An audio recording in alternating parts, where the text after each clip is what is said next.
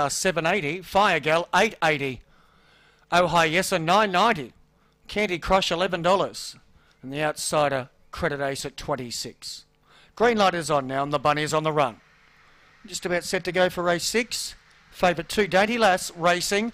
Dainty Lass slow out, missed it. So did Fire Gal. Beginning fast was Credit Ace, but out wide, your Ace Yar and Lady Inga are going to cross, and Lady Inga goes to the lead from your Ace Yar. Credit Ace to third, then followed by as they go down the back straight, and fourth placing was Candy Crush, and they got away from Fire Gal. Then we had Dainty Lass, who was third last. Second last was Spring Ridge. Favourites a mile back, and Oh Hi Yesa was last around the home corner. Straightening behind was Lady Inga by three lengths. Chasing it down now was Candy Crush, but Lady Inga holds on from Candy Crush. Your Ace Yar third, and fourth flying home was Spring Ridge when it was all over. Then Fire Gal, Dainty Lass, uh, and the last pair were Oh Hi Yes.